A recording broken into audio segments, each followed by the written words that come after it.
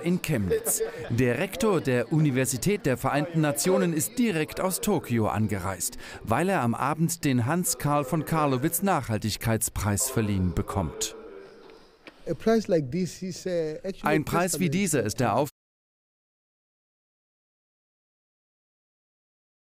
Professor Chilizi Marwala in Chemnitz. Der Rektor der Universität der Vereinten Nationen ist direkt aus Tokio angereist, weil er am Abend den Hans Karl von Karlowitz Nachhaltigkeitspreis verliehen bekommt.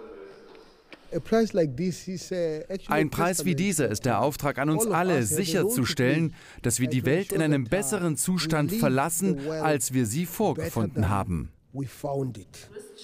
Mit Interesse schaut sich der Südafrikaner das Lexikon der Nachhaltigkeit von 1713 an.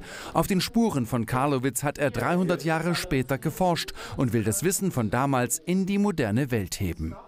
Die künstliche Intelligenz verspricht uns für das Thema Nachhaltigkeit viele große Fortschritte, auf die wir bei dieser Transformation zur Nachhaltigkeit bauen.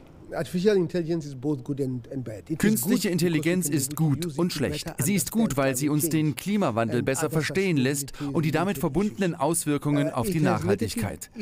Sie hat negative Einflüsse, weil sie eine Menge Wasser und Energie benötigt. Und wir benötigen viel mehr nachhaltige, uh, energieeffiziente Infrastruktur und Technologie. Ein Thema, an dem im World Trade Center Dresden geforscht wird. Hier befindet sich eine von 13 Universitäten weltweit, die zu den Vereinten Nationen gehört. Weil die Lausitz in der Nähe mit dem bevorstehenden Kohleausstieg Beispiel ist für verlassene Bergbaulandschaften in Kolumbien, Mosambik, Südafrika, Indonesien und ganz aktuell in Indien.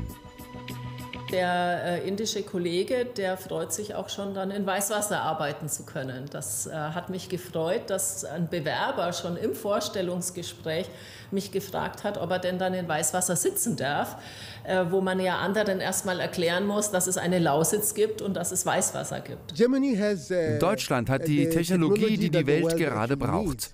Deutschland hat auch das Know-how und den politischen Willen, um die Nachhaltigkeit weiterzuentwickeln.